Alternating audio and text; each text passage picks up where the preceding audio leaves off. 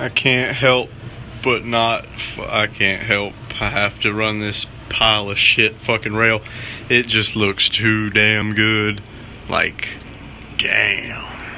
Ugh. I mean, all it does is just flex a little bit side to side. It doesn't actually touch the suppressor, but if I did drop it, it would probably whack the piss out of the suppressor. But hell, the other rail will do that too. It's just something you put up with there on the failure of the fucking modular design of these things. That is the biggest fuck up of the MCX and the Virtus and the Rattlers.